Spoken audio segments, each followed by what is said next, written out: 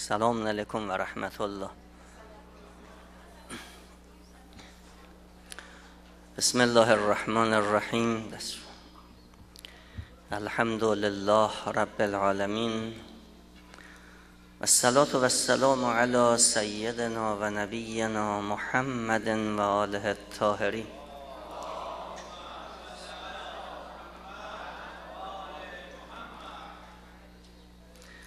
سیما بقیت الله المهدی. روحی و ارواح العالمین له الفداء رب اشرح لی صدری و یسر لی امری. واحلل عقدة من لسانی یفقه قولی. بارلاها به آنچه رضای تو بران است ما رو موفق بدار از آنچه ناخوشنودی ما رو برحذر کن. در گذر عمر لحظه ای ما رو به خود وامگذار و عاقبت امور ما ختم به خیر بفرما. خب طبق حدیثی رو که شب اول عرض کردیم ما مجلسمون رو با ده سلوات شروع می‌کنیم که از او طرف صد سلوات خدا و ملائکه بر دلهای ما نازل بشه و قلوب ما و مجلس ما رو از اونچه که هست نورانی تر کنه. امشب شب یک شنبه است.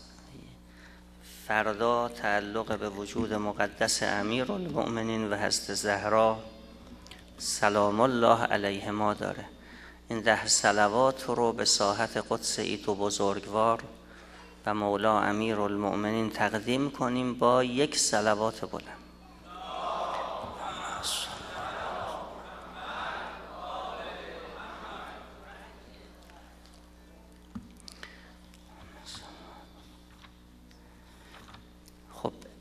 طبق وعده دیشب امشب سوره مبارکه قاف رو از آیه 16 هم انشاءالله مورد بحث قرار بدیم. که من خواهش کرده بودم این آیات رو اگر بشود مطالعه بشه که انشاءالله یه مقداری بحث ها روشنتر باشه. از آیه 16 هم تا 25 26 هم تقریبا در 20 آیه نکات متعددی مطرحه یک قسمت مربوط به ثبت اعمال ما توسط فرشتگان الهی است خیلی من. قسمت دوم مربوط به صحنه قیامت قسمت سوم مربوط به کسانی که شیاطین در زندگی دنیا با اونها هم نشین میشن. و قسمت چهارم مربوط به توصیفاتی درباره بهشت یا قبلش درباره جهنم. حالا همین چند بحث به نظر میاد که از معارف قرآنه که باید بیشتر به این مسائل معاد و معرفتی پرداخته بشه. یه نکته ای رو قبل از ورود به بحث جا داره که متذکر بشیم و اون این که در زمان ما نسبت به مسئله معاد کمتر عنایت میشه. یا بگیم توجه لازم نمیشه. ما اعتقاد مسائل اعتقادی رو در دو مرحله داریم. یه مرحله اعتقاد عقلی که باورمون بشه این رو همه داریم الحمدلله. مرحله دوم اعتقاد احساس قلبی. یه وقت آدم خدا رو قبول داره یه وقت با خدا زندگی می‌کنه. این دوتا امره یه موقع آدم امام حسین رو قبول داره یه موقع با امام حسین زندگی می‌کنه. امام زمان رو قبول داره یه وقت باهاش زندگی می‌کنه. ما نسبت به خدا الحمدلله یه مقداری حالت احساسی داریم. به درجات بعضیا خیلی بعضیا نمازی که ما می‌خونیم هنرش اینه که خدا رو از اعتقادات ما میاد احساسی و قلبی می‌کنه. پنج بار در شبانه روز خود رو تاهر می‌کنیم بدن رو تاهر می‌کنیم لباس رو تاهر می‌کنیم پاک و منزه. گفتن بوی خوش استعمال کنید لباس تمیز بپوشید لباس فرم بپوشید. قبل از شروع نماز دقایقی در سجاده قرار بگیرید.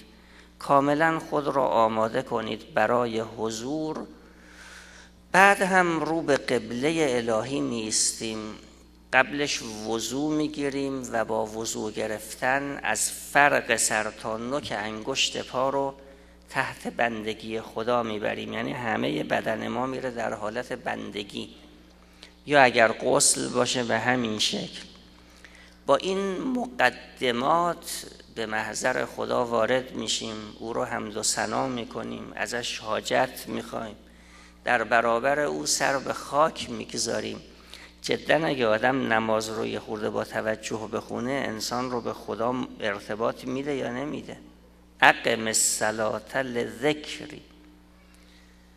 نماز پلیدی ها رو از وجود ما برطرف می‌کنه. اگر واقعا ما نماز رو جدی بگیریم یعنی نماز ما نماز باشه به قوله بند خدایی پیاز نباشه. ببینید در سوره معارج میفرماد که ان الانسان خلق هلوعا انسان حریص آفریده شده. خداوند یه صفات منفی رو هم در خلقت ما قرار داده همچنانی که صفات مثبت رو قرار داده. برای اینکه ما درگیر بشیم و انتخاب کنیم و مبارزه کنیم با نفس و رشد و تقرب به خدا پیدا بکنیم. یه انسان حریص آفریده شده اذا مسه الشر جزوعا و اذا مسه الخیر منوعا. نشونه حرسش هم اینه که وقتی چیزی از دستش بره بیتابی می‌کنه. چیزی به او رو بیاره نعمت بهش رو بیاره نم پس نمیده. الا المسلین ولی نماز گذاران حریص نیستند. سوال آیا نمازگزاران حریص آفریده نشدن یا نه؟ نماز اینها رو از حرس تطهیر می‌کنه. کدومه؟ معلومه که دومیه. چون انسان به طور کلی حریص آفریده شده ولی نمازگزاران حریص نیستن. این نور نماز حرس رو از وجود ما می‌بره. پس حسد رو هم از بین می‌بره. پس کینه رو هم از بین می‌بره. این قدرت نماز. ما با نمازی که شبانه روز در این وعده ها می‌خونیم خصوصا اگر کسی اهل نوافل باشه چون میگه الا المسلین الذین هم علی صلاتهم دائمون.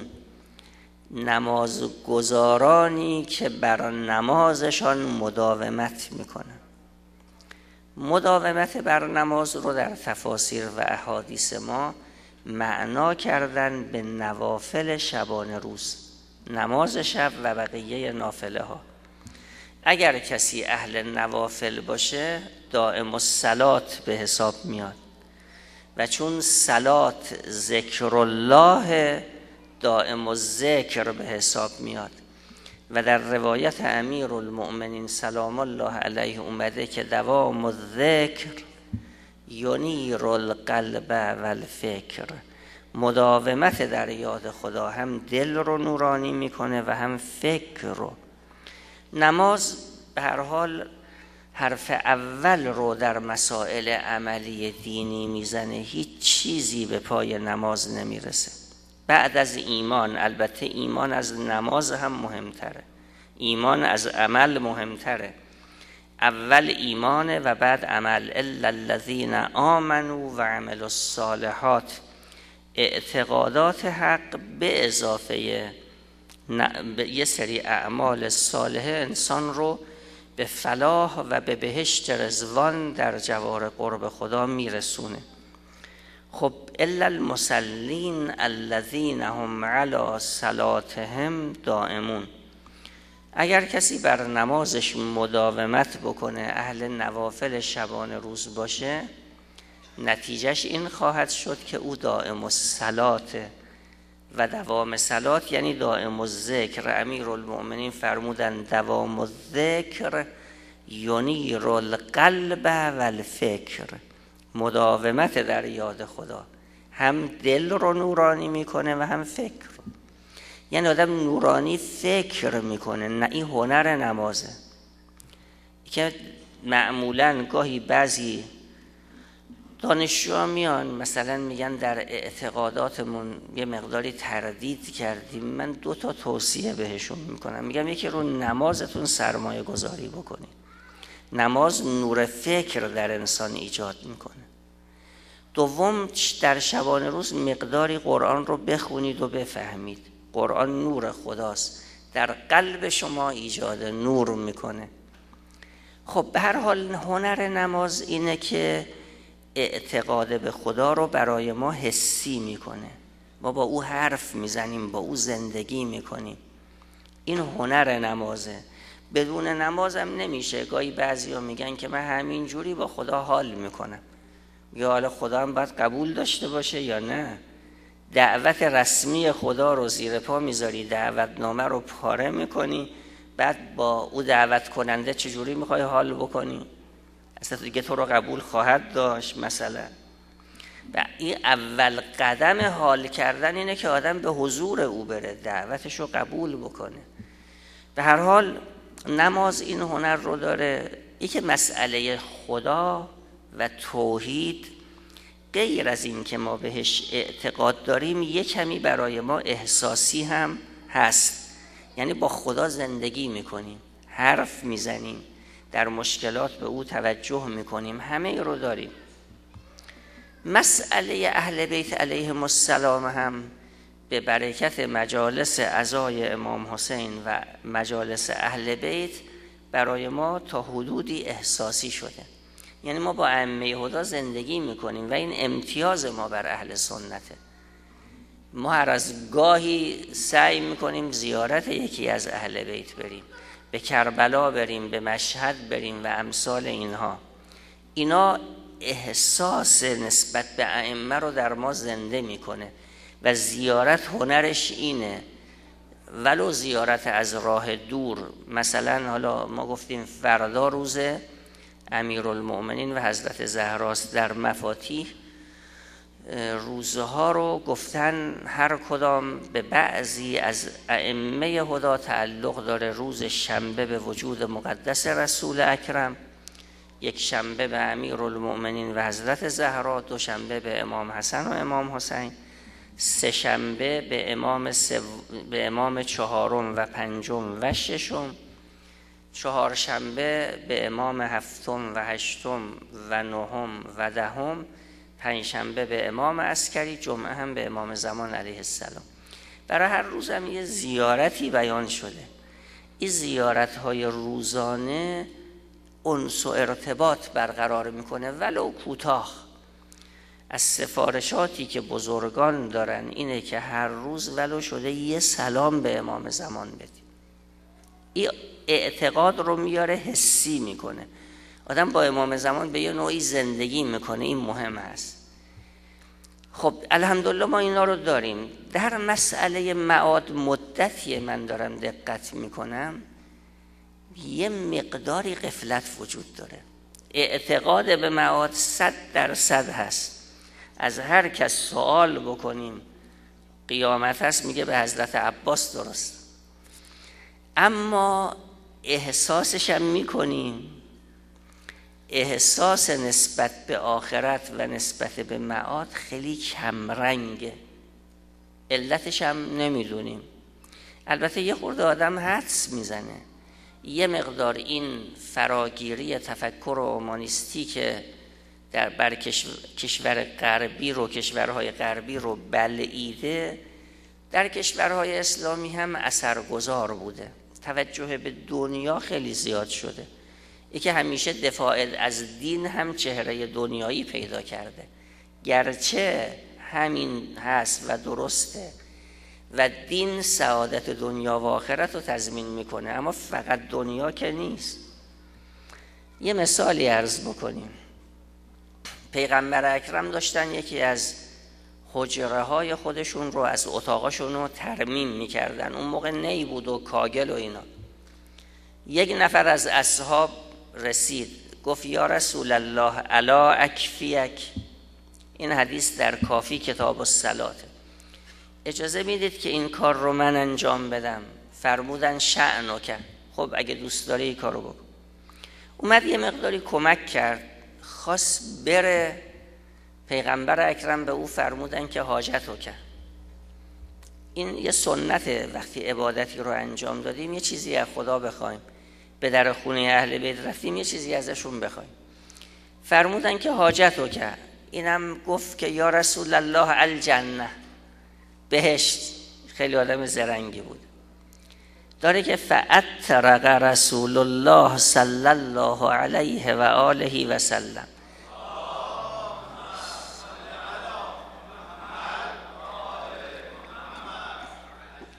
یکی از خواست سلوات حضرت یه مدتی سرشون رو زیر انداختن. خب وعده بهشت دادن به کسی که هنوز در زندگی دنیاست کار مشکلیه. در آینده امتحان ها در پیشه. به هر حال خود حضرت فرموده بودن سرشون رو بلند کردن فرمودن نعم باش. این خوشحال شد. وعده بهشت و از پیغمبر اکرم گرفت داشت میره حضرت صداش زدن. فرمودن که یا فلان اعنی به طول سجود. من به تو وعده بهشت دادم. تو هم برای بهشتی شدن خودت به من کمک کن با طول سجده. خب این حدیث خیلی زیباست. که طول سجده یکی از عوامل بهشتی شدن انسان. اما حالا من این رو برای این نکته میگم. اگر الان یه نفر بیاد به ما بگه از طرف امام زمان علیه السلام یه حاجت مستجاب دارید. حضرت عباسی چند نفر میگه بهشت. قبل از شنیدن این حدیث اگه کسی می‌گفت بهشت دستشو بلند کن. فورا به فکر هوایج دیگه میفتیم چرا اینطوره؟ در زمان پیغمبر اکرم مسئله بهشت زنده بوده. یعنی نه مشرکین آخرت رو قبول نداشتن و قرآن مدام مسئله آخرت و بهشت و جهنم رو مطرح می‌کنه. پیغمبر اکرم تو سخنانشون مطرح می‌کردن برای مسلمونا زنده بوده. فراوان داریم. می اومدن به زور از پیغمبر وعده بهشت بگیرن. یا از ائمه هدا داره که یه جمعی اومدن خدمت رسول خدا. گفتن یا رسول الله به ما وعده بهش بده. حضرت حاضر نشدن. آخرش پیغمبر فرمودن وقتی اصرار کردن فرمودن به یک شرط.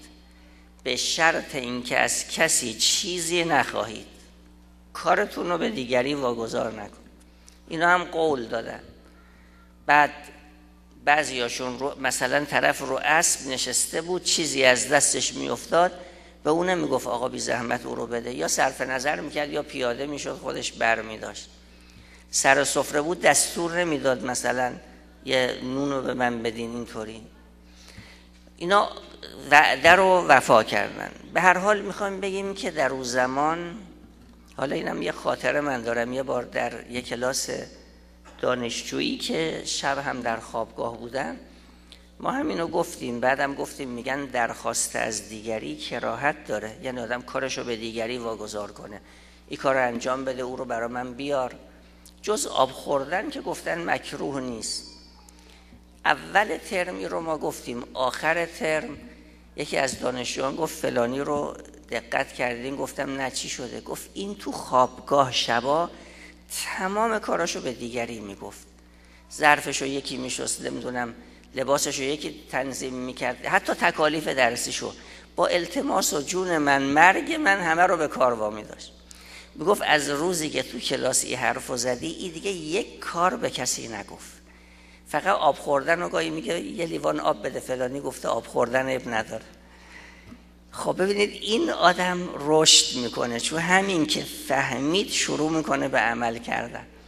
حالا مسئله اینه که الان اگر به ما بگن که یه حاجت مستجاب دارید فورا میگیم بهش در حالی که بهش که از دنیا مهمتره.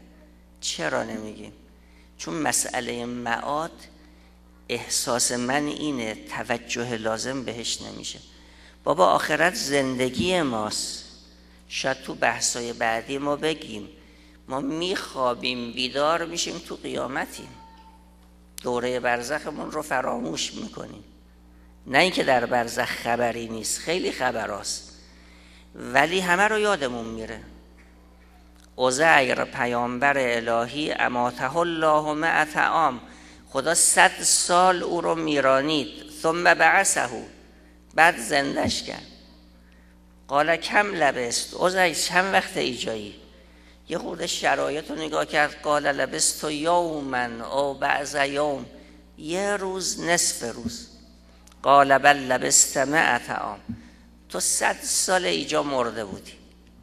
برزخ صد ساله خودشو فراموش کرد. تو عالم چیزایی می‌دیده اما یادش نه وقتی بیدار میشه قبل از خوابش به یادش میاد. زندگیشو ادامه میده.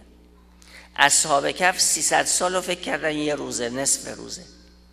متن قرآن اینه در آیه آخر سوره نازعات که وقتی که مردم قیامت رو ببینند احساسشون اینه که یه شب تا صبح خواب بودن یا یه صبح تا شب. اولا احساس می‌کنن خواب بودن.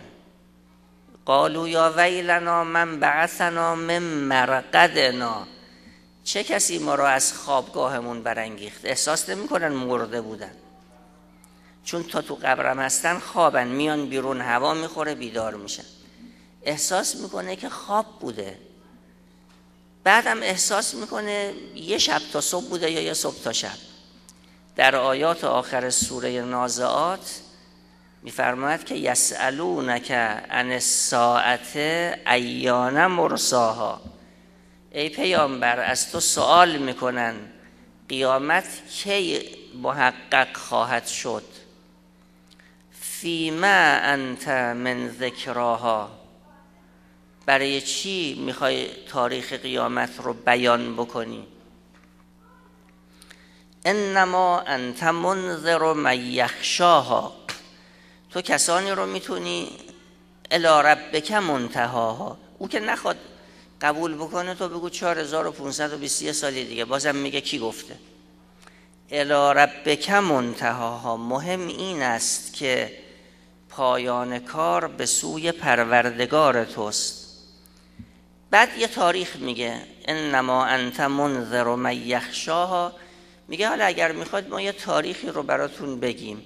که انهم یوم یرونها لم یلبثوا الا عشیتا او زهاها وقتی که قیامت رو ببینند احساسشون این خواهد بود که به اندازه یه شب تا صبح خواب بودن یا یه صبح تا شب. همین.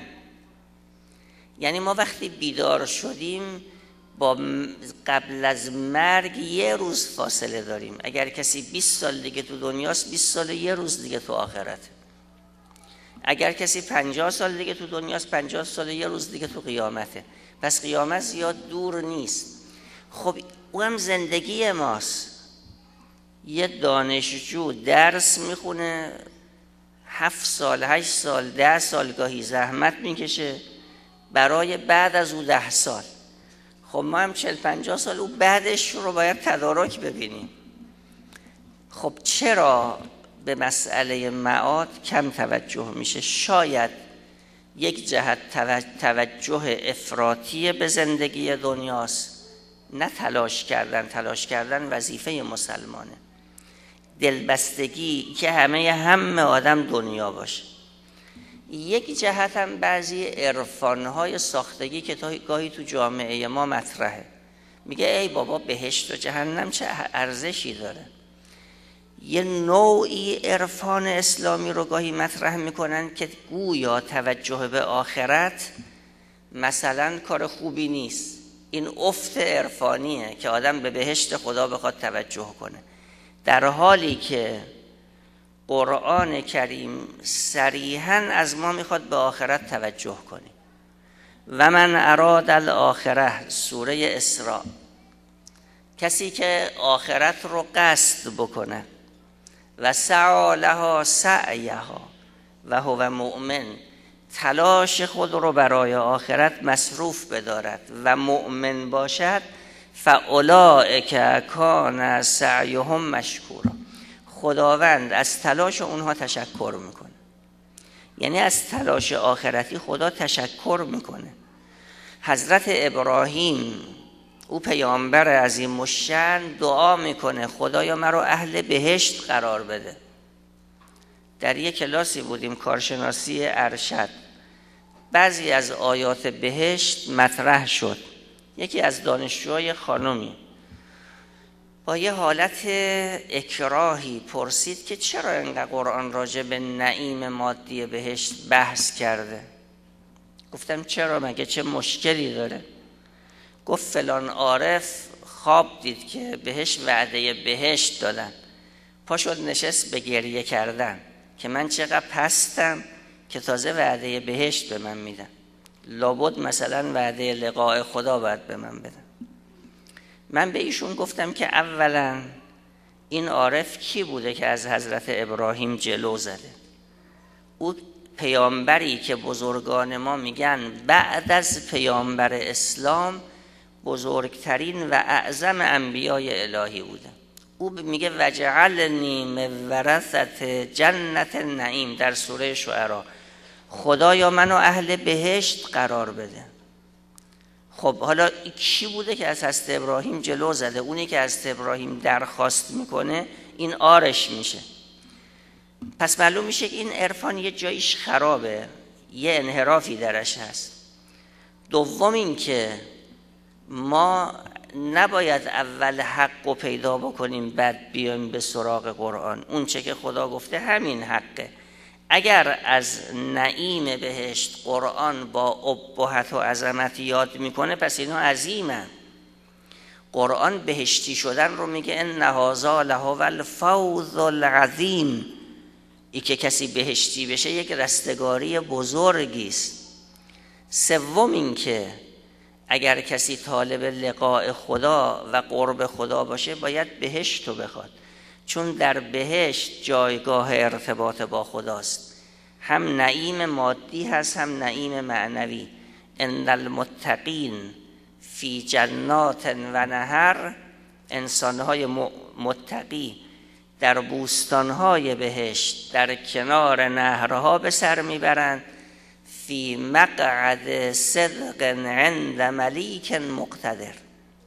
در یک جایگاه راستین در نزد خدای فرمانروای با قدرت. پس بهش که فقط نعیم مادی نیست هم مادی است هم معنوی هم جوار قرب خداست. و رزوان من الله اکبر این درباره بهشته از همه نعمت ها بزرگتر احساس رضایت از خداست. یا احساس رضایت طرفینی. و نکته چهارم این که یعنی در جواب اون سخن و او وقت جهنمی ها از خدا دورند. کلا انهم ان ربهم یومئذ لمحجوبون. و نهایتا این که اولیاء خدا به بهشت خدا توجه داشتن و از جهنم خدا در امان می‌خواستن از خدا. خب سلواتی خط کنید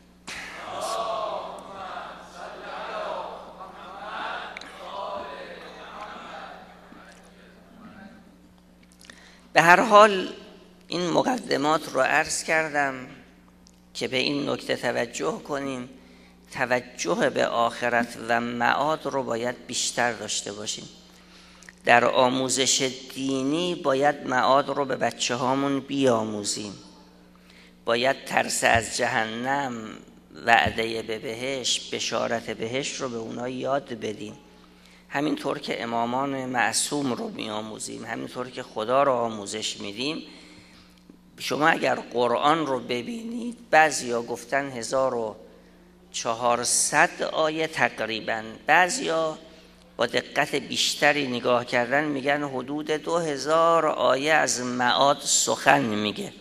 کل قرآن شش هزار و دویست و سی و شیش آیه است. یعنی از نظر شمارش آیات نزدیک به یه سوم قرآن. شما همینطور که قرآن رو بخونید جا به جا دائما راجع به معاد سخن میگه. خب حالا برگردیم به سوره قاف آیه 16 هم بحثی رو قرآن از اینجا آغاز می‌کنه. ما چقدر وقت داریم؟ حاجا هر شب اینجا بودن وقت می‌دادن. امشب تشریف نیاوردید آجا خب. ولقد خلقنا الانسان و نعلم ما توسوس بهی نفسه و نحن اقرب الیه من حبل الورید. مقدمه بحث ثبت اعمال رو امشب میگیم.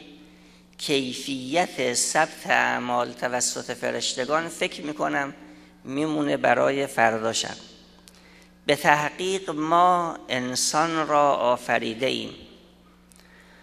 و آنچه را که نفس او به او وسوسه می کند و ما از حبل الورید حبل یعنی ریسمان ورید رگیست که خون رو به قلب میرسونه. دو تا رگه یه خون برنده یه خون آورنده. میگن شریان و ورید. ما از این رگ گردن که به حبل تشبیه شده به انسان نزدیکتریم. ولقد خلقنا الانسان ما انسان رو آفریدیم. و نعلم ما توسوس بهی نفسه. آنچه را که نفس او به او وسوسه می کند می دانیم سلام.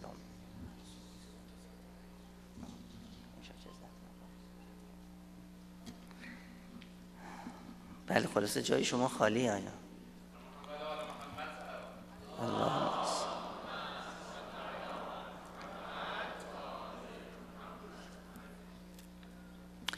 ما به او نزدیک. آنچه را که نفس انسان به او وسوسه می کند می دانیم.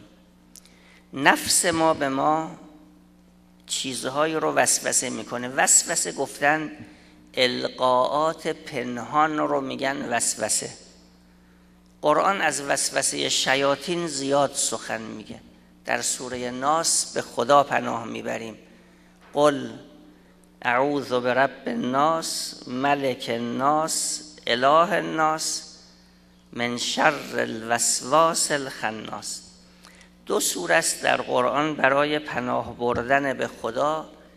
این دو سوره رو میگن معوذتین. دو سوره ای که ما استعاذه می‌کنیم به خدا پناه می‌بریم. در سوره فلق از حوادث مادی به خدا پناه می‌بریم. قل اعوذ برب الفلق پناه می‌برم به پروردگار سپیده من شر ما خلق از شر آنچه که آفریده. در سوره ناس به خدا پناه می‌بریم از شر شرور معنوی یعنی از وسوسه شیطان. جالبه که سوره فلق رو یک بار میگه قل اعوذ برب الفلق. اینجا سه وصف برای خدا میگه. قل اعوذ برب الناس ملک الناس اله الناس. شاید می‌خوان بگن که پناه در امور ایمانی مهمتر از امور دنیاییه. خب من شر الوسواس الخناس. به خدا پناه می‌برم از شر وسوسه های خناس. خناس میگن او حقیقت شیطانه که گاهی خودشو اصلا معنای خنوس اینه. گاهی خود رو نشون میده گاهی مخفی میشه. من شر الوسواس الخناس. خب وسوسه برای شیطان کاملا مشخصه که او می‌تواند یه موجوداتی هستند از طایفه جن. جنیان بعضی مؤمنند بعضی کافر. یه موجودات پشت پرده ای که ما نمی‌بینیم ولی اونا ما رو می‌بینن. و قرآن درباره اونا اطلاعات زیادی به ما میده. یه سری هم فرشتگان الهی هن که قرآن راجع به اونا هم زیاد اطلاعات به ما میده. جمعی از طایفه جنیان شیاطینن یعنی مزاحمن. شیطان یعنی موجود بدذات. اینا میان با انسانها ارتباط برقرار می‌کنن. چگونه ارتباطی؟ ارتباط فکری. پای معصیت خدا بیاد میان تو دلشو خالی می‌کنن. اولا شور میاندازن. اگه توجه کنیم در خودمون اگر دقت کنیم وسوسه شیاطین رو خیلی خوب مییابیم. قرآن کریم دستور میدن که لا تتبع او خطوات شیاطین. از گامهایی که شیطان پیش پای شما قرار میده تبعیت نکنید. یه دستور کوتاه سه تا مطلب ازش فهمیده میشه. مطلب اولی که شیطان گام به گام کار خودش رو انجام میده. یه دفعه آدم رو لب پرتگاه نمی‌بره چون انسان تبعیت نمی‌کنه. قدم به قدم. به جای مسجد آدم رو می‌بره به یه جای دیگری. میگه حالا تو مجلس وارد شو اما مراقب خودت باش. یا الله جان.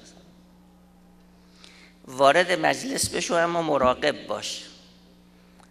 نمی‌دونم مرد اونه که به دریا بزنه پشتر نشه. بعدم میره و غرق میشه. اولا قدم به قدم می‌بره. از یه امر کوچک شروع می‌کنه یک ارتباط کوچک بعد از یه گناه بزرگی سر در میاره دوم اینکه ما می‌توانیم وسوسه های شیطان رو ردیابی کنیم. اگر نمی‌تونستیم بفهمیم این دستور دستور لقوی بود. به ما میگن لا تتبع او پس باید بفهمیم. سومی که می‌تونیم مخالفت کنیم. اگر محکوم بودیم به پیروی از شیطان به ما نمی‌گفتن لا تتبع او چون دست من نیست. از یک عبارت کوتاه سه اطلاع درباره شیطان به دست میاری خب شیاطین میان با انسانها ارتباط برقرار می‌کنن. القاء فکر می‌کنن یک. یه قدم جلوترم میرن احساس رو هم تحریک می‌کنن. القاء فکر اینه که میاد انسان رو به گناه وادار می‌کنه. میگه حالا بعدا توبه می‌کنی. حالا ای با یه دونه که طوری نمیشه.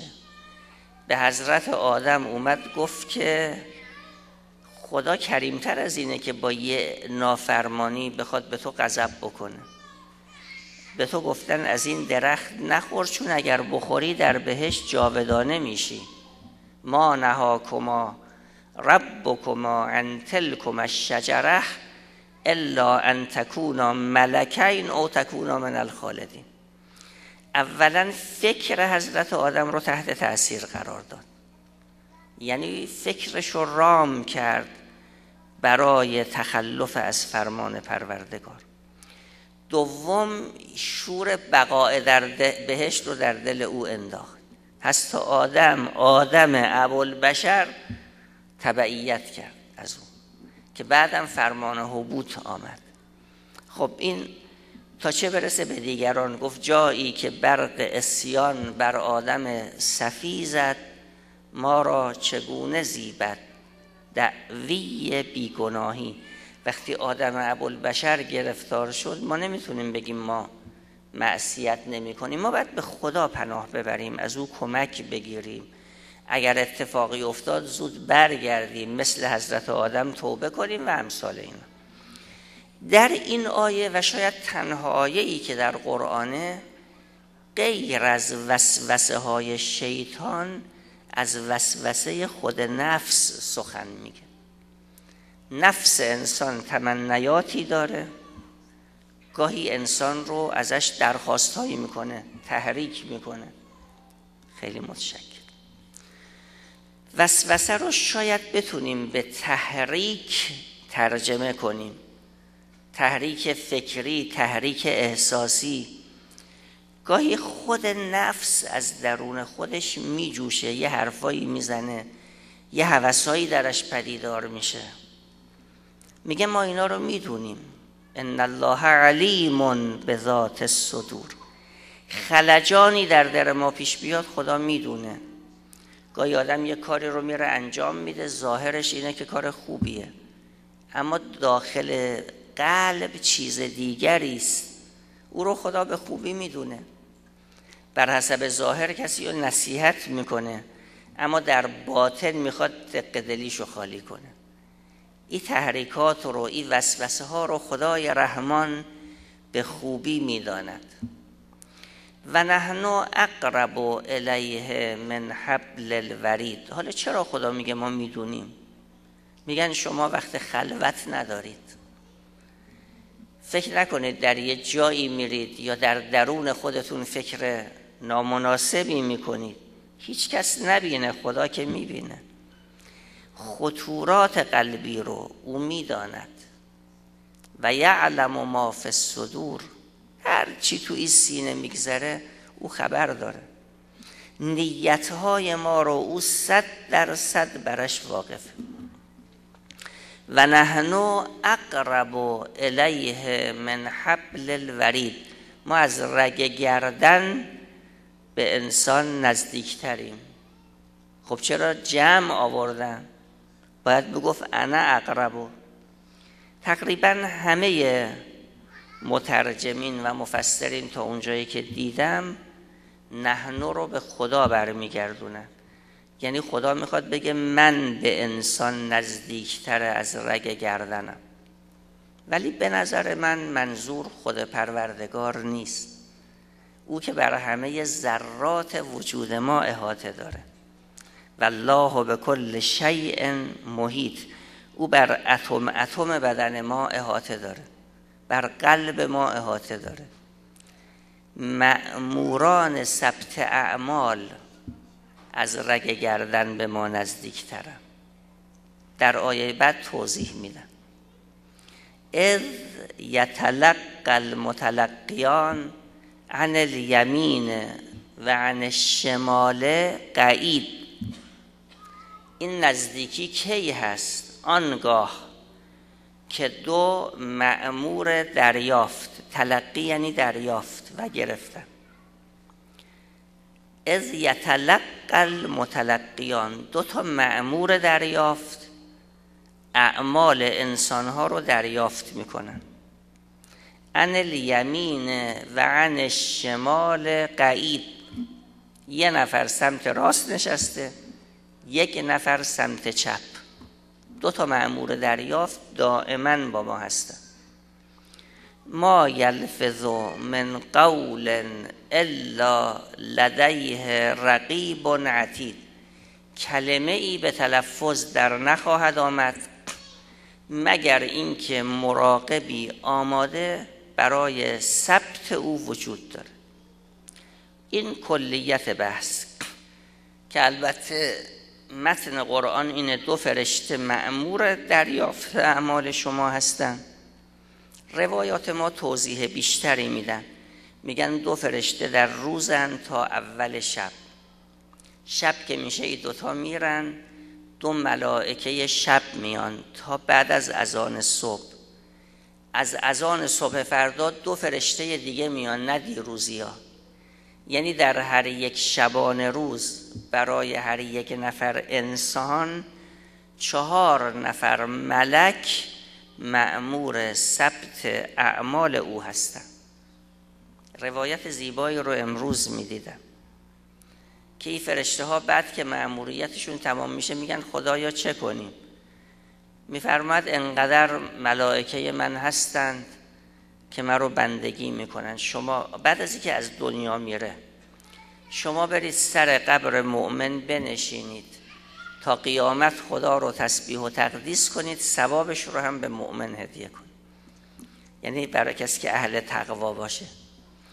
در هر شبانه روز چهار معمور الهی اعمال ما رو دریافت می‌کنه نماز صبح رو داره ان صلات الفجر کان مشهودا. نماز صبح مورد شهوده. روایات ما میگن علتش اینه که اگر کسی نماز صبحش رو اول وقت بخونه هم ملائکه شب می نویسن هم ملائکه روز. اونا اومدن اینا هم هنوز نرفتن. سلات الفجر در طلوع فجر. اگر کسی اون موقع نماز رو بخونه هم در شب ثبت میشه هم در روز. ان صلات الفجر کان مشهودا. خب حالا سوال اینجاست که این فرشتگان الهی اعمال ما رو چگونه ضبط می‌کنن؟ آیا کاغذی میارن با قلمی روش می‌نویسن؟ تعابیر قرآن این نیست. تعابیر قرآن حکایت می‌کند از صورت برداری نسخه برداری صدا برداری و دریافت عمل ارزش گذاری و بایگانی. اینا رو انشاءالله فردا شب آیاتش رو میگیم و مفصلا بحث می‌کنیم که اولا اعمال ما چگونه دریافت میشه. ثانیا چگونه و در کجا بایگانی میشه. محل بایگانیش کجاست؟ شاید یه محل بایگانی خود بدن ما باشه. حالا عرض می‌کنیم سوم در قیامت چگونه به ما ارائه می‌شود؟ و چهارم ارتباطش با دفتر سرنوشت رو که دیشب یه کمی در پاسخ به او سوال جبر و اختیار عرض کردیم. خب سلواتی خط کنیم.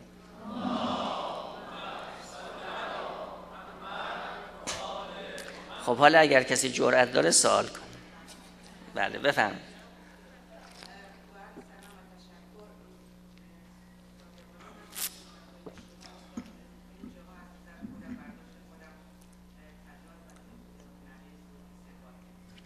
بله من قبلش یه عذرخواهی کنم. سوالای دیشب چهار پنج تا مونده بود ولی تو ماشین جا موند. حالا اگر کسایی که سوال داشتن دو مرتبه لطف کنن بنویسن. بله بفرمایید.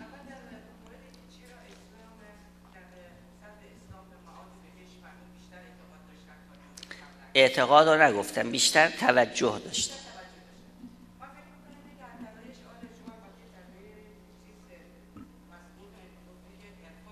گفتم شاید یکی از دلایلش این باشه.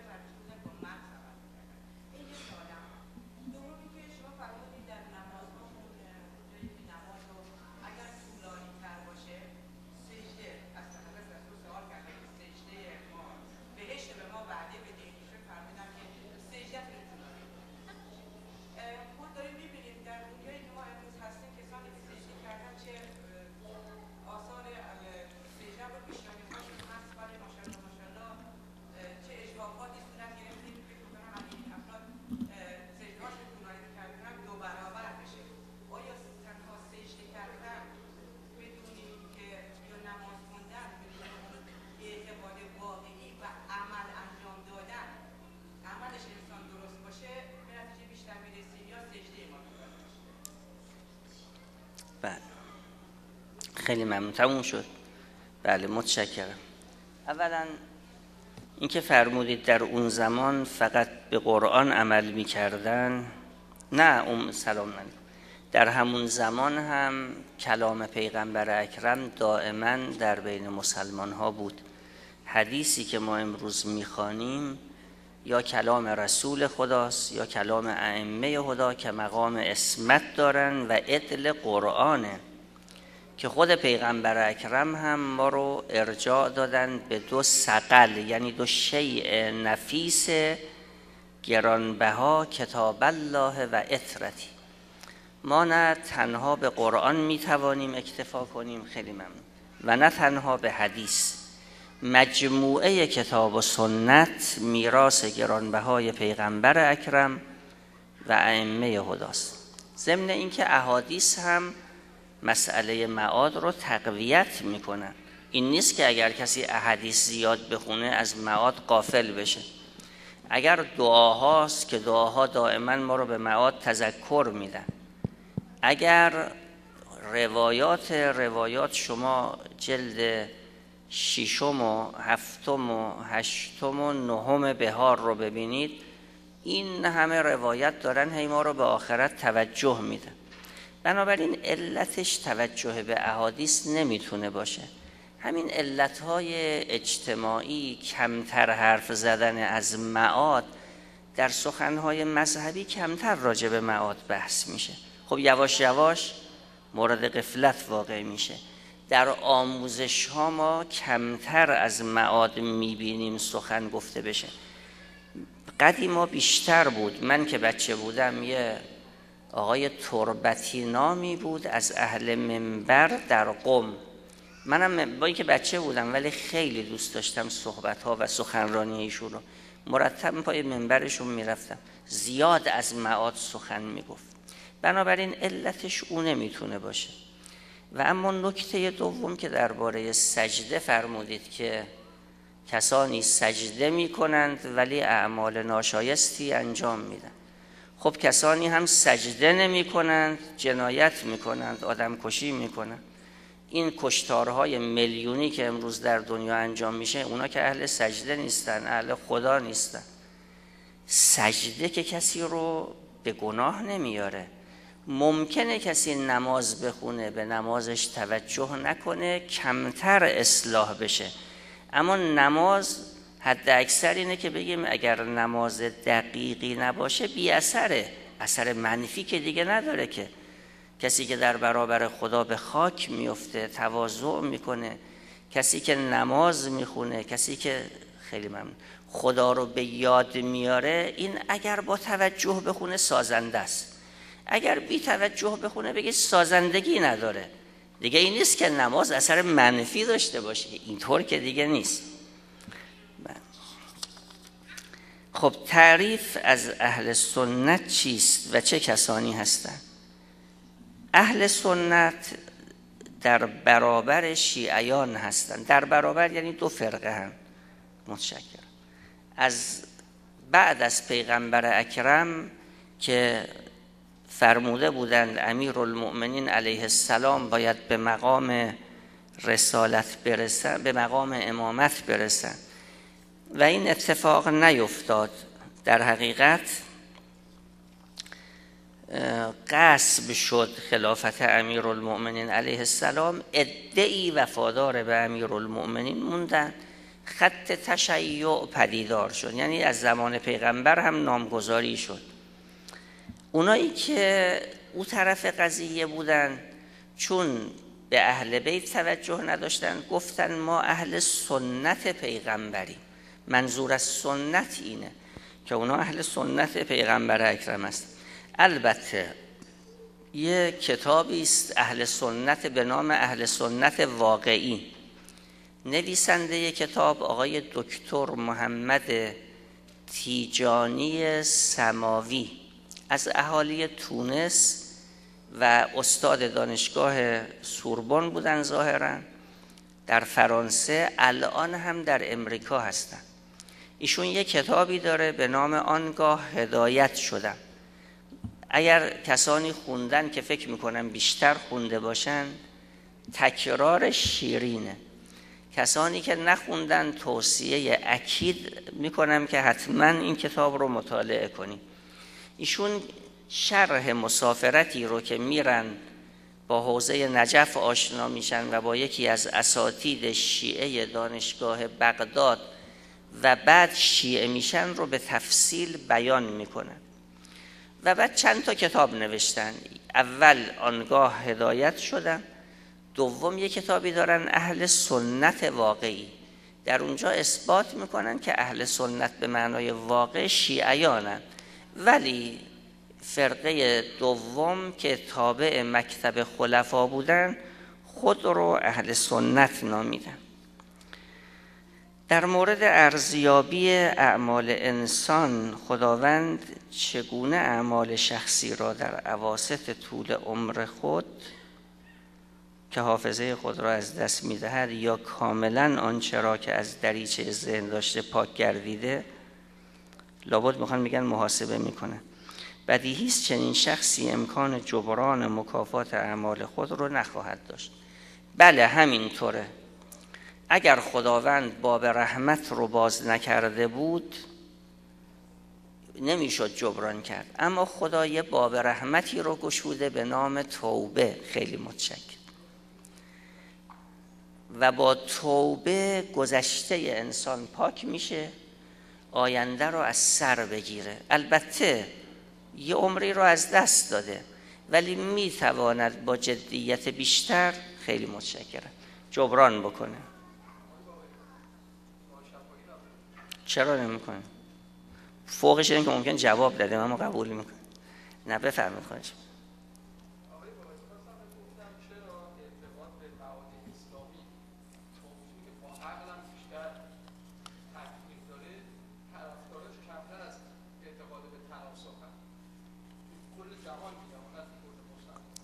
خب شما میگید معاد اسلامی پس طبیعتا مسلمان ها بهش معتقد میشن دیگه. نه غیر مسلمان ها اگر کسی مسلمان بشه با قرآن آشنا بشه نمیشه به معاد معتقد نباشه. ما مسلمانی رو که معتقد به معاد نداشته باشه تردید دارم بعید می‌دونم داشته باشی. چون بالاخره بس سراغ قرآن بیاد انقدر قرآن راجع به معاد حرف می‌زنه که نمی‌تونه. مگه به قرآن معتقد نباشه خب اونای غیر مسلمانن که اونو میگن. نه. کجا؟ مذاهب ابراهیمی که الان هست به اصطلاح یهود است و نصارا و اسلام. غیر از اون ما نداریم. مذهب ابراهیمی همین ستا هست اینا هم همه به معاد معتقدن. البته در مسیحیت به شدت کمرنگ شده. در یهود کمرنگه ولی باز بیشتر از مسیحیت وجود داره. ولی در مسیحیت خیلی کمرنگ شده. بعضیشون میگن هسته عیسی اومد فدا شد که گناهان بقیه بخشیده بشه. بیچاره هسته عیسی. بله. یه سلوات خط کن.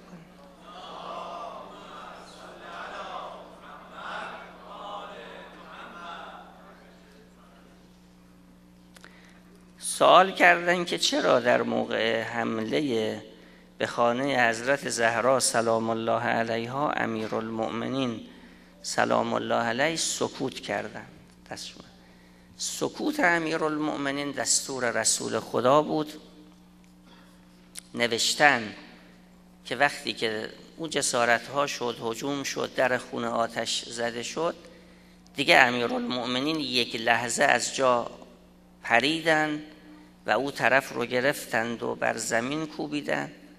بعد به یاد فرمان رسول خدا افتادن فرمودن اگر فرمان رسول خدا دست مرا نبسته بود میفهمیدید که شما کمتر از آن بودید که بتونید وارد خونه من بدون اجازه من بشید. اونا هم فهمیدن که فرمان رسول خداست جسارتشون بیشتر شد. و برای به هر حال حفظ اسلام بود که اصل اسلام بمونه. و اگر نه خب درگیری های داخلی ممکن بود خیلی آسیب برسونه. بله.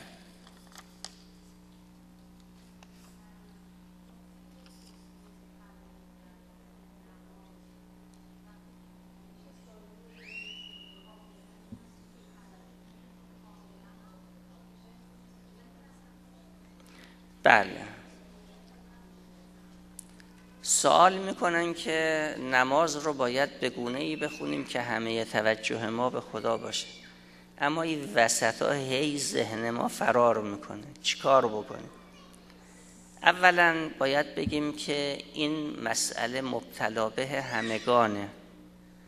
اگر برای کسی این اتفاق افتاد فکر نکنه که او مثلا خیلی گناه آنچنانی داره. نه. شیطان می‌داند که نماز چه سرمایه عظیمی است بنابراین هم خودشو جمع می‌کنه عزمش رو جزم می‌کنه که نگذاره در نماز. خیلی متشکرم. انسان مؤمن نمازش نماز باشه. ولی ما چه باید بکنیم؟ یک قبل از نماز به خدا پناه ببریم. و ازا قرأت القرآن یا فاذا قرأت القرآن فاستعذ بالله من الشیطان الرجیم وقتی خواستی قرآن بخونی از شیطان رجیم به خدا پناه ببر. بعضی از مفسرین گفتن منظور از قرآن خوندن نمازه. چون در نماز انسان سوره حمد می‌خونه قرآنه بعدم یه سوره می‌خونه قرآنه. همین برای شروع نماز به خدا پناه ببریم. ذکر لا حول ولا قوت الا بالله برای دفع شیاطین بسیار مؤثره دوم یه مقداری تهیع برای نماز به انسان کمک می‌کنه. که انسان اگر نمازش ده دقیقه طول می‌کشه 15 دقیقه وقت بذاره. دو دقیقه زودتر سه دقیقه هم بعد از نماز بنشینه. اصلا تعقیب یک اثرش اینه که آدم می‌دونه نمازش تموم شد فورا را نمیفته بره. عجله او برای تمام کردن نماز کم میشه. سوم ذکر رکوع و سجود یک بار واجبه. سنت و استحبابش یا سه باره یا پنج بار یا هفت بار. ما سه بارش رو در نماز فرادا بگیم. حال در نماز جماعت گفتن باید یه خورده ای مثلا رعایت از اف معمومین رو کرد و سریعتر خون. اما در نمازهای فرادا سعی کنیم سه بار. این خیلی تجربه نشون میده در اون تمعنینه و توجه بسیار مؤثره. چهارم بعد از نماز یه کمی بنشینیم وقت بگذاریم. و پنجم این که مرتب در نماز تمرین کنیم تا ذهن ما منصرف شد برگردیم. در روایتی است که در نماز سه بار خدا به مؤمن نگاه می‌کنه. اگر بعد از سه بار باز هم قفلت کرد دیگه او رو رها می‌کنه. چون می‌دونیم خدا هم با ما حرف می‌زنه ملائکه هم با ما حرف می‌زنن. تنها شیاطین نیستن که وسوسه می‌کنن. یه داستان زیبایی رو نقل می‌کنن گفتن در مجالس قدیم مال قرون گذشته یه اهل دلی سخنرانی می‌کرد و بحثی داشت. یکی بعد وسط مجلس قرار شد که برای پول یه کار خیری پول جمع کنه. یکی از افراد دست کرد تو جیبش دید پول نداره. به دلش الهام شد که خاله که پول نداری این دستار آمولی که باهات هست این رو در راه خدا بده. دستار گاهی به کمر میبستن گاهی به سر میبستن. گاهی هم تو بازار استفاده زنبیل ازش می‌کردن. ای توهی دست رفته در بازار ترسمت پر نیاوری دستار تو شعرهای سعدی. که جنس می‌گرفتن تو دستبال اومد دستار رو باز کنه بده. اینو توجه کنید جالبه. دو دفعه به دلش یه حرف منفی اومد. میگن اگر خواستید کار خیر انجام بدید تا شیطان مچتون رو نگرفته عجله کنید وگرنه نمی‌ذاره. مثلا به دلش اومد که ای بابا چراغی که به خانه رواس به مسجد حرام تو حالا خودت نیاز داری؟ چه عجله یه بعدا پولدار میشی میدی. نداد. یه کمی گذشت یه نهیبی به دلش اومد که تو خجالت نکشیدی. برای خدا یه دستار مزایقه کردی. بعد تو دو دفعه اومد باز کنه بده باز یه حرفای منفی اومد. اینم چون دلش نمی اومد حرفای منفی رو گرفت و نداد. صحبت تمام شد. به مناسبت بحث از استاد سوال کرد. خیلی ممنون. که آقا یعنی شما میگه خدا با آدم حرف می‌زنه. استاد که اهل دل بود گفت بله خدا با آدم حرف می‌زنه. اما به خاطر یه دستار آمولی بیش از دوبار حرف نمی‌زنه. حالا. به حال ما باید خیلی کمک بگیریم انشان احادیثی که در سخنانتان به آن استناد می‌کنید از نظر سند تا چه حد قابل اطمینانه؟ من دقت می‌کنم در احادیث که با قرآن هماهنگ باشه و حتی المقدور سندش هم درست باشه بعد عرض می‌کنم. حالا امیدواریم که بتونیم این وظیفه رو عمل کنیم. منابع اسلامی خصوصا قرآن معاد را به صورت جسمانی می‌گوید یا روحانی؟ در صورت امکان آیاتی که در این مورد ذکر کنیم. یقینا از نظر قرآن و روایات ما معاد جسمانی است. او هم جسم عنصری مادی. فقهای ما نوعا معاد جسمانی رو از ضروریات دین ما به حساب میارن. انشالله تو بحثای بعدی بیشتر به این می‌پردازیم. ولی قطعا معاد جسمانی است. اونم جسم عنصری مادی. حالا بعضی هم جور دیگری میگن ولی من به این امر یقین دارم و با قسم جلاله میگم. قسم نه اینکه اینجا حجته ولی می‌خوام بگم من این اندازه یقین دارم. یک هزارم غیر از این احتمالی نمیشه تا. اگر لازم بود بعد بفرمایید من توضیح بدم. برای تربیت و اجرای رفتار اسلامی حال به ما گفتن تا ده هم بیشتر وقت نداریم. یعنی ما پرسیدیم که این وقته گفتن تا ده. حالا کسی تا ده صحبت کرد تا ده عرب نمیشه صحبت بکنه.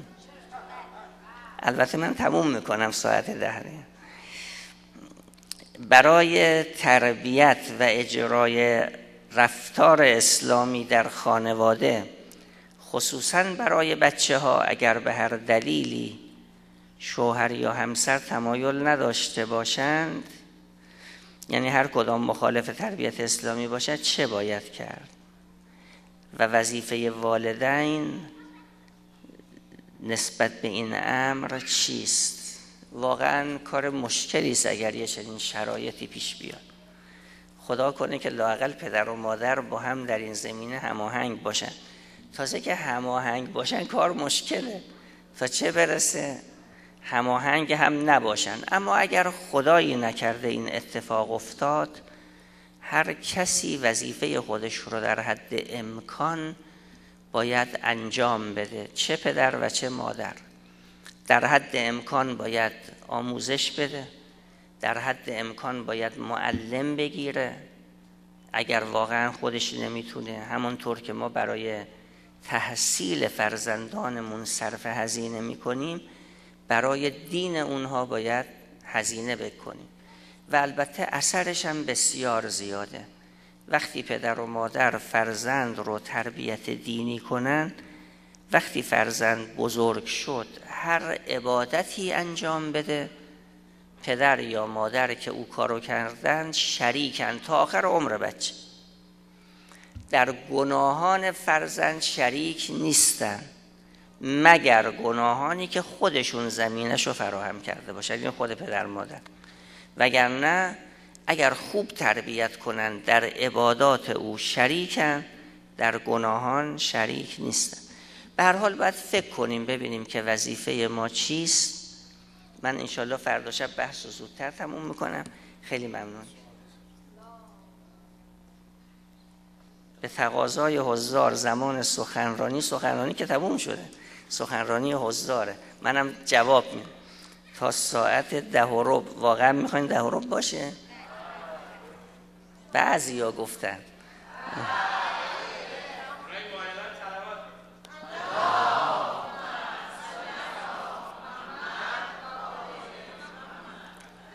خب به نوبت دیگه اینم از اینجا. نه دیگه او وقت آخه میترسم همون حکایتی بشه که او شب گفتم گفتن سخنگویی داشت همینطور سرش پایین بود نگاه نمی‌کرد برای خودش صحبت می‌کرد و مردم یکی یک رفتن بعد هیچ کس نموند آخرش اینم سرش پایین بود خادم کلید و گذاشت گفت لطفا صحبتون تموم شد خودتون در رو ببندی آره. خواهی. خب. دیگه من حالا حوصله دربستن رو ندارم در مورد چشم و نظر چقدر این موضوع صحت دارد برای جلوگیری از آن چی کار باید بکنیم؟ والا این که صحت داره رو من می‌دونم که صحت داره بله. و برای جلوگیری هم صدقه آیت الکرسی دعا پناه بردن به خداوند و میگن آیه و ان یکاد انشاءالله بسیار مؤثره در یه روایتی هم داریم که اگر یه وقت شما ترسیدید که کسی رو چشم بزنید گاهی میشه یا ترسیدید که دیگری شما رو چشم بزنه سه بار این ذکر رو بگید. خیلی متشکرم. ما شاء الله لا قوت الا بالله العلی العظیم.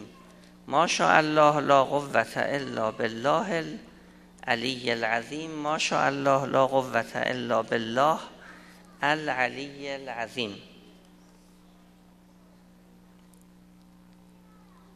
چه سری در اسماع الهی است؟ خیلی ممنون ببخشید.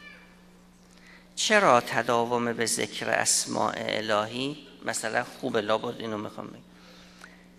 والا اسما خود ای الفاظ یک بار مفهومی و معنایی داره.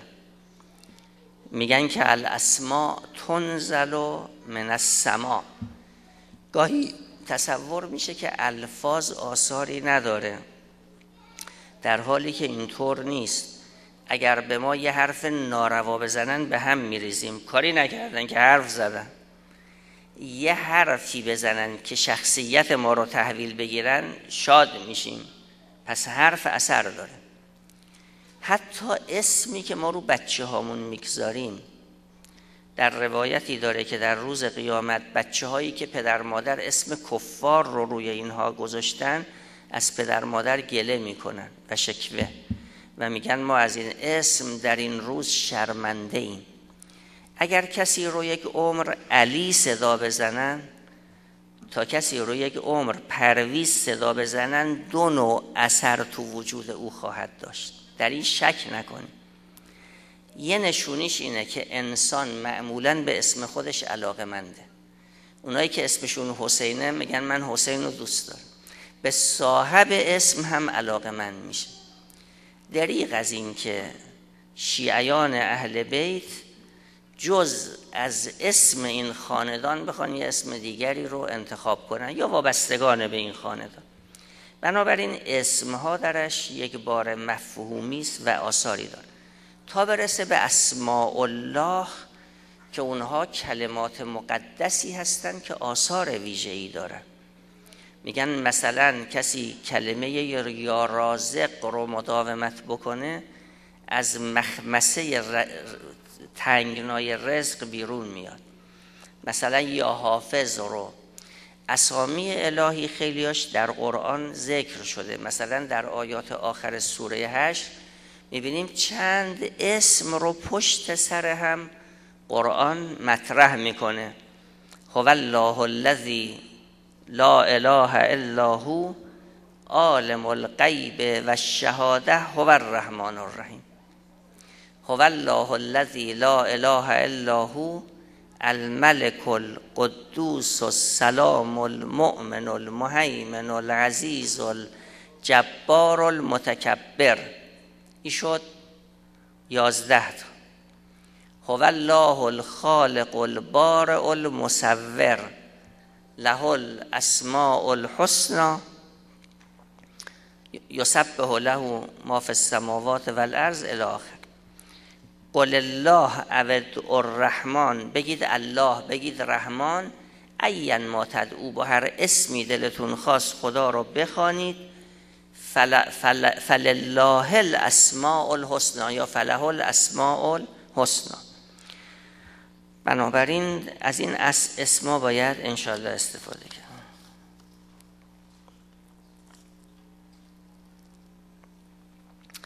خواهشمند است در مورد حجاب آقایان و آیه مربوط به آن توضیح بدید دیگه از حجاب خانم ها همه منصرف شدن. دیگه بریم سراغ حجاب آقایون حجاب آقایان پوشش به اصطلاح اورات و مثلا قسمت میانی بدن این مقدار واجبه.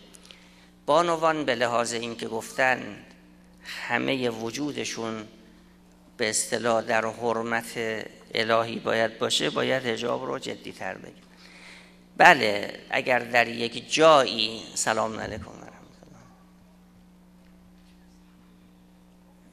ببخشید وقت شما رو اگر در جایی فرض کنید کسی مردی لباسی نپوشه بدن او لباس نداشته باشه ایجاد مفسده بشه یعنی زمینه گناه باشه جایز نیست. و در غیر این صورت واجب نیست. اگر شیطان حضرت آدم را فریب نداده بود چگونه انسان ها به وجود می آمدن حالا که این کارو کرده. ولی خداوند از اولم گفته بود که من می‌خوام بشر رو روی زمین قرار بدم. این رو اگر لازم بود الان وقت نیست. باید یه توضیح بیشتری من بدم. خیلی از مؤمنین هستند و حتی کلاس های دینی دارند ولی در عمل آنها بسیار فرق می کند باعث می شود خیلی از دین زده می شود چرا عمل با گفتار فرق می کند فقط مؤمنین اینطوره؟ این غربی ها واقعا همه جا مثلا این دولت های غربی عملشون و حرفشون یکیه. انسان اینطوریه دیگه. انسان اونقدری که حرف می‌زنه عمل نمی‌کنه. چرا فقط میگید مؤمنین؟ غیر مؤمنین هم همینطوره. همین پر روزا بود یکی از برادران می‌گفتن که ما راستاسی فکر می‌کردیم که مردم اینجا اصلا هیچ وقت مثلا کلک نمی‌زنن دروغ نمیگن. اما خیلی موارد رو برخورد می‌کنیم می‌بینیم خب بعضیاشون این کارو می‌کنن. در بین مؤمنین هم که همه بد عمل نمی‌کنن. ممکنه یه کسی مؤمن باشه بد عمل بکنه. هست عباسی اهل نماز همشون بد عمل می‌کنن اهل مسجد همه بد عمل می‌کنن. خود این یک تبلیغ سوی بر علیه ایمان واقعیت نداره در این حد. بله یه نکته هست. چون از اهل ایمان انتظار نیست عمل بد کوشکشون هم خیلی تو چشم میاد. نه اینکه حالا دیگران خطا نمی‌کنن فقط مؤمنین خطا می‌کنن. واقعا اینجوریه.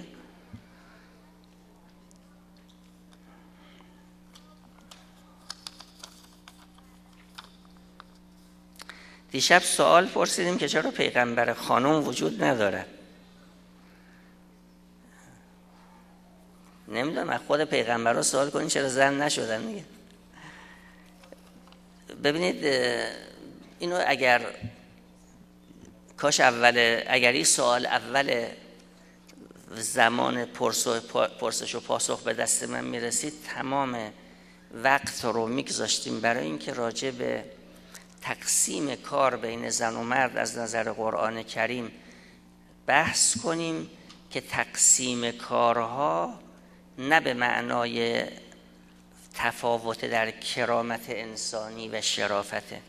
یه حکمت دیگری داره که حالا این رو انشالله باز من این سوال رو نگه میدارم که انشالله فردا شب بتونیم یه مقداری روش بحث کنیم.